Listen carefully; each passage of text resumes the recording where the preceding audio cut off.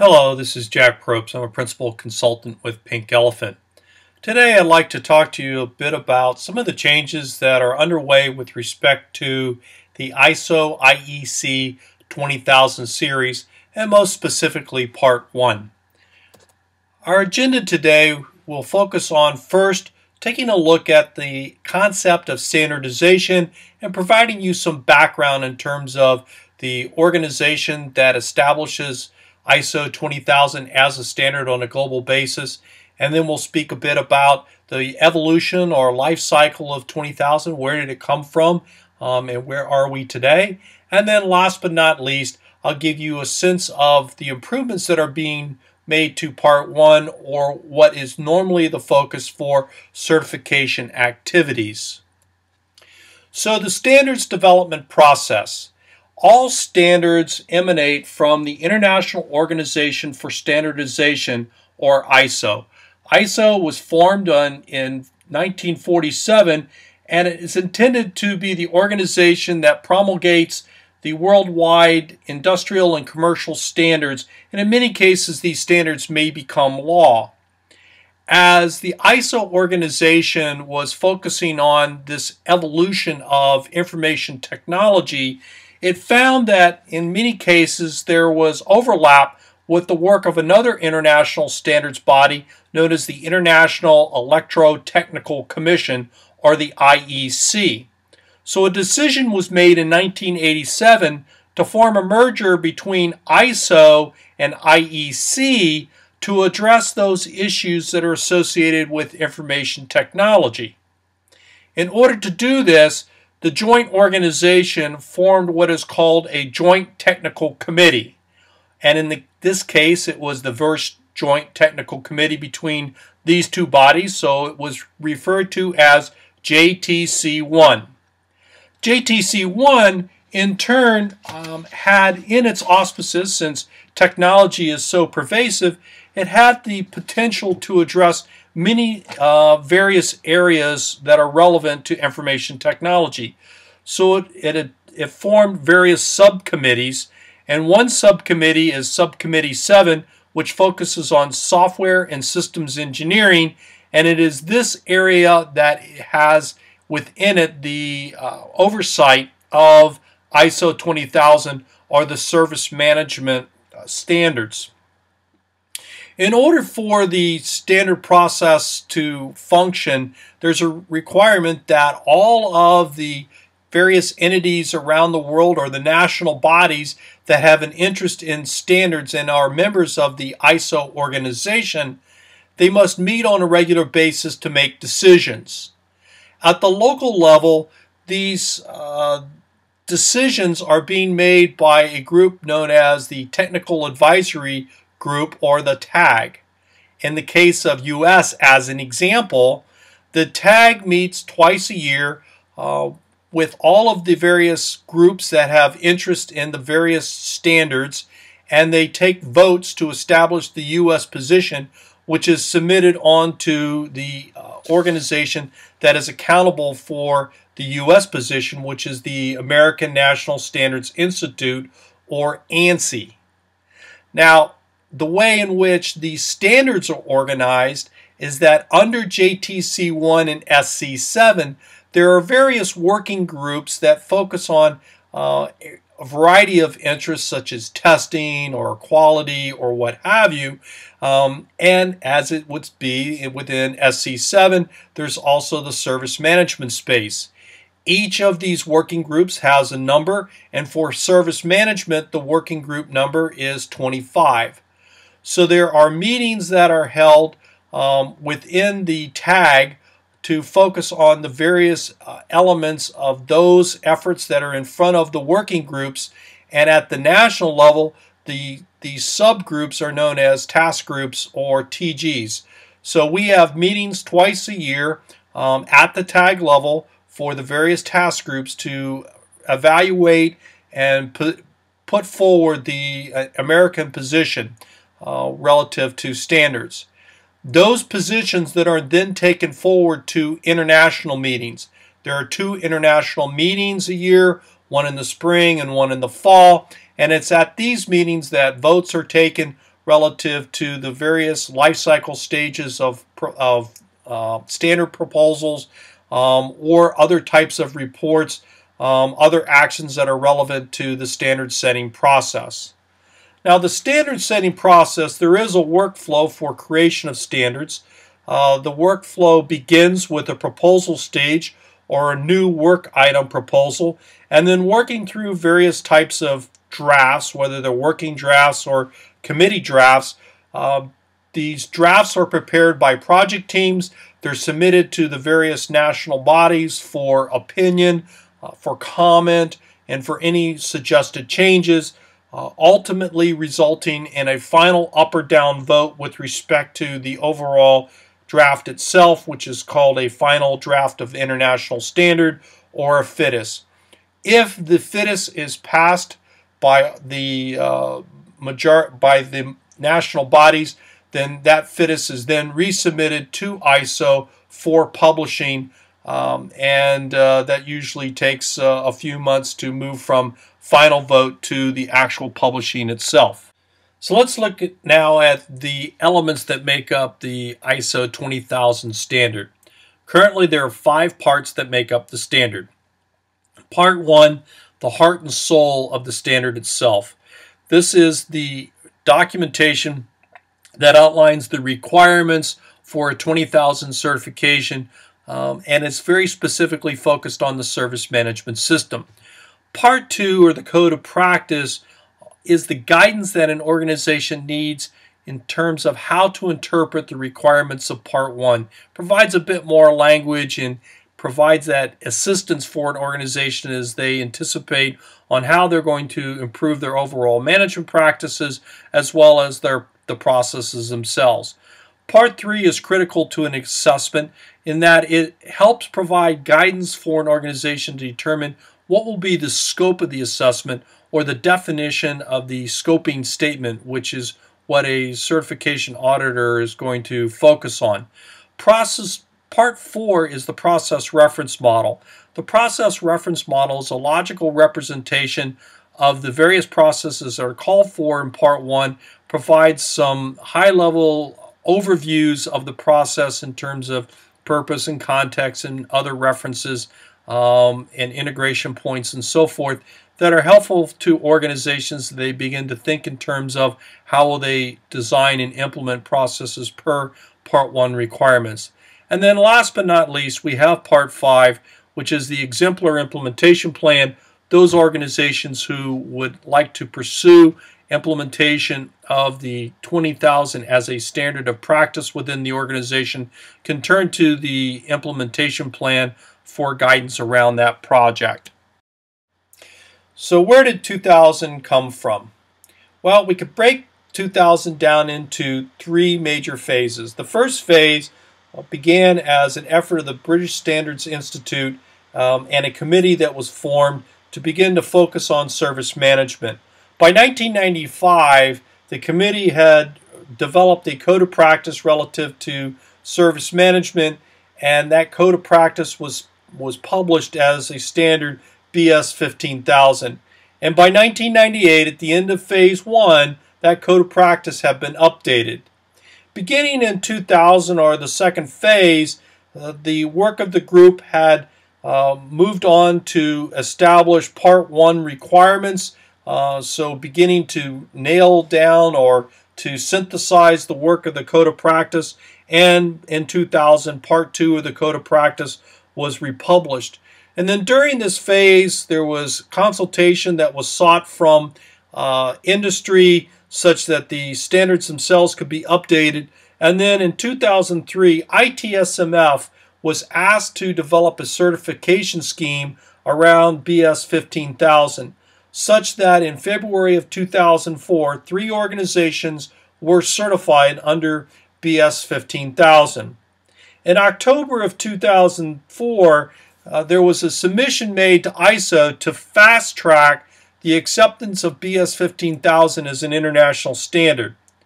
So in uh, our last phase of the life cycle of 2000, we begin with the submission for fast track to ISO standardization, and then at the international meeting in May of 2005, the international community voted to accept the fast track submission such that by December of that year, ISO 20000, both parts 1 and part 2, were published as the initial standards.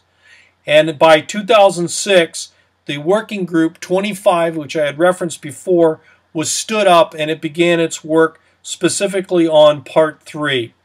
Now, where are we today? Well, Part 3 was published October of 2009. Part 4 was published in November of 2010.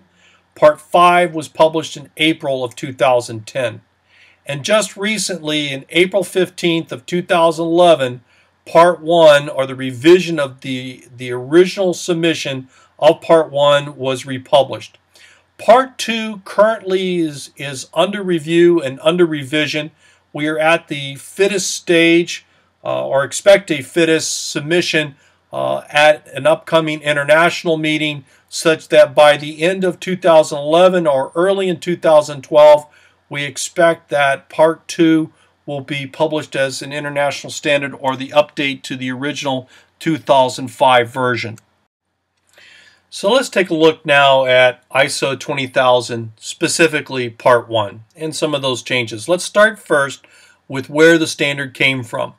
So for those of you who are finished, familiar with 20000, you'll recognize this graphic. You've seen this graphic before. It's detailed in both Parts 1 and Parts 2. But what's interesting about this graphic is that what it reflects are the 13 processes that are pertinent to 20000, but what it's missing are the three management practices that are also critical to the overall assessment process. So for instance, it's missing planning and implementing service management, it's missing planning and implementing new or changed services, and it's also missing the requirements for the management system. Those three elements need to be incorporated into the overall process and the process practices if one is to seek out the certification. So let's go from this graphic to where ISO 20000 has uh, morphed or has transitioned for the 2011 version. So let's talk a little bit about the service management system, which is at the heart and soul of the ISO 20000 standard. Now, just for uh, purposes of sort of painting the broad picture in terms of what's changed, um, from the 2005 version to the 2011. Here's some sort of high level things that have occurred. First, um, it's bigger. So there's 26 pages now compared to 16. Uh, it now is entitled the Service Management System Requirements, uh, which obviously places greater emphasis on this thing called a service management system. Um, and then last but not least, there's tighter linkage to uh, various other standards such as 9001, 27001, the Information Security Management Standard, and then ITIL version 3. Now, one of the things that really jumps out at you as you look at the standard is you turn to section 3, which is terms and definitions, and you find that there's um, quite a bit of change in this uh, this space. So first of all, two definitions were very were deleted, which I find interesting. One was um, there's no change record definition, um, nor is there a service desk definition. Those are handled uh, within the body of the processes themselves. So in addition to those two deletions, there are 11 uh, definitions that have changed, and then and most of those are really wording changes more than anything else. But then there are 23 new definitions. 11 of those are tied to ISO 9000. Two of those are tied to the 27000 series of standards. And last but not least, there's one standard that's tied to 31000. All right, so let's talk in a little bit more detail, though, about this thing called a service management system. So first and foremost, for those of you who are familiar with um, the ITIL framework, you know that uh, it's all tied back to the customer. Everything starts with the customer, and that customer is going to have very specific service requirements. Those service requirements are exercised by the various processes that make up the service management system, such that services are then delivered directly to uh, the customer. At the heart and soul of the service management system um, are various management practices that are uh, key ingredients to making this thing work. So First and foremost is a section on management responsibility. And there's been some expansion in terms of the, uh, the various elements of management responsibility. Um, especially there's a, a, section that outlines um, uh, the management representative and what the management re representative is expected to perform. Um, also, there's now more detail with respect to governance of processes that are being operated by other parties. Um, there's the expectation that the service provider will provide uh, direction um, for any of those processes that are under the governance of someone else. And then documentation management, quite a bit of additional information, especially around the control of documents um, and the control of records. Resource management, uh, the, the key issue with resource management is um, the human resources, and it, it, provides some combination of elements that were part of uh, competence, awareness, and training in the old uh, standard, but uh, uh a fair amount of information around resource management. And then the need to establish the SMS, which is tied back to the, the Deming life cycle, so plan, do, check, act. Great detail with respect to expectations in terms of how um, the service management system itself should work, uh, working through the, the Deming cycle. Um, and moving from there, we then move into uh, a new section. Uh, this section is the design and transition of uh, existing services. This is the combination of section 3 or 4 and 5 of the original standard. So planning and implementing service management and planning and implementing newer change services. This has all been combined into a brand new section one. So what we find um, in this section is uh, some additions such as how to design and develop newer change services, adding how do you transition those services, um, and so forth. So there's there's quite a bit more detail to provide guidance for service providers as they begin to think in terms of how they're going to manage the the the changing service portfolio. All right, so now let's go into a bit more detail with respect to changes to the processes themselves.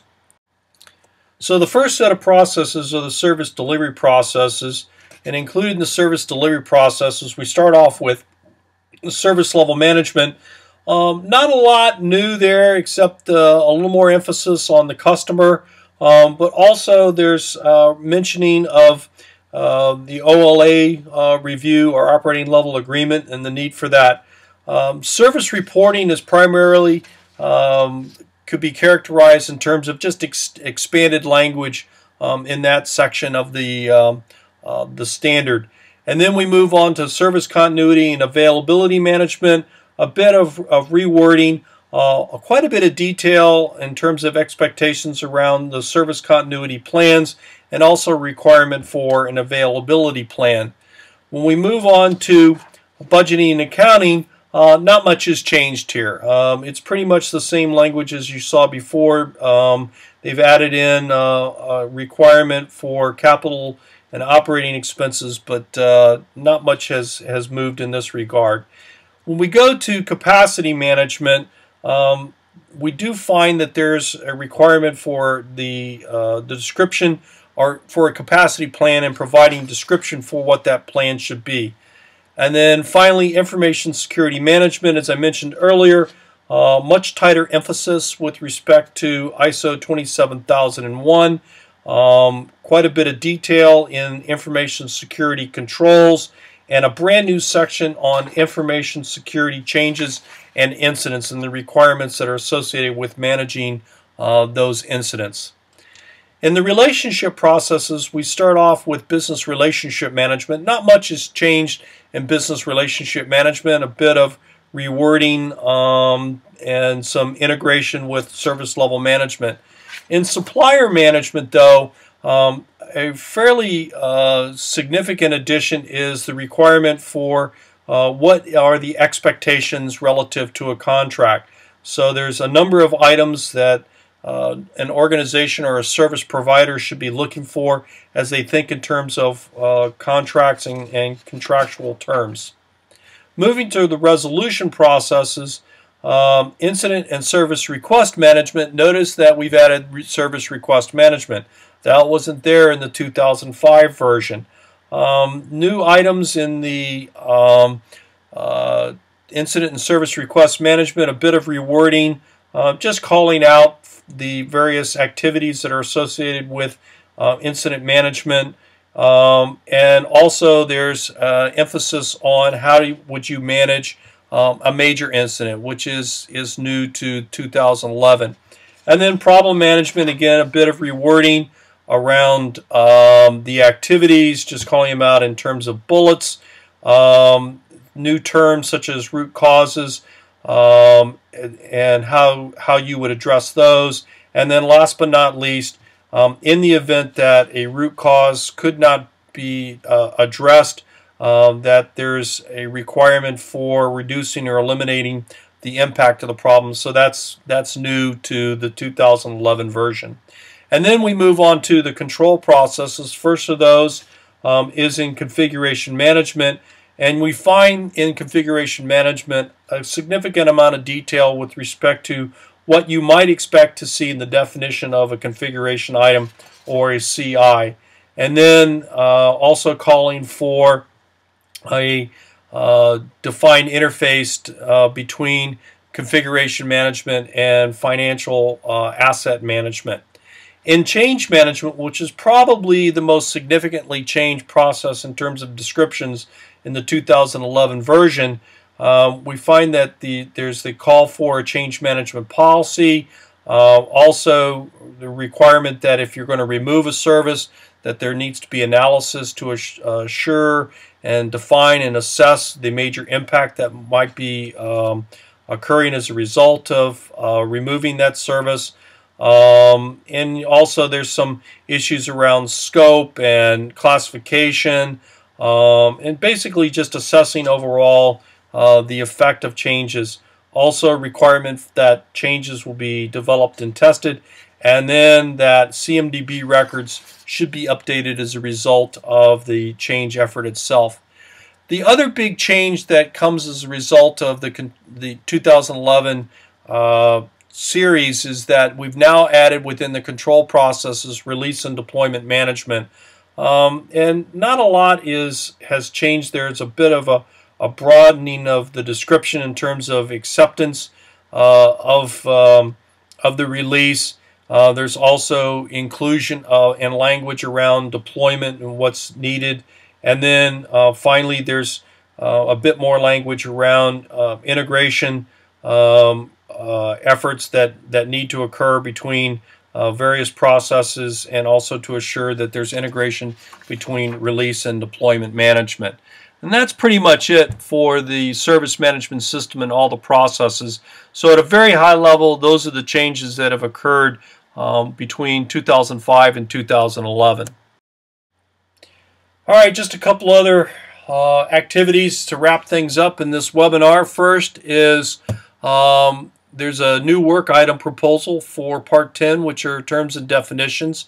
Um, and also there's some activity that we're expecting to see te as technical reports to map ISO 20000 to other standards such as uh, and other frameworks. Uh, so for instance, uh, mapping ISO 20000 to uh, such frameworks as ITIL. Um, and also Working Group 25 is working with the I, uh, IT Governance Working Group or Working Group 40 around a process assessment model. We expect that there'll be a co-labeling of uh, the process assessment model as part 8 of uh, the ISO 20000 series. And then last but not least, there's work with um, the Standing Committee uh, 27 uh, within and Working Group 1 within uh, Standing Committee uh, 27. Uh, and that is around uh, ISO 27013, which is a description of how does ISO 20000 and the 27000 series, how do they map together. All right, so let me wrap this up. Um, if you are interested in some sources for information, uh, here's some websites that you can turn to.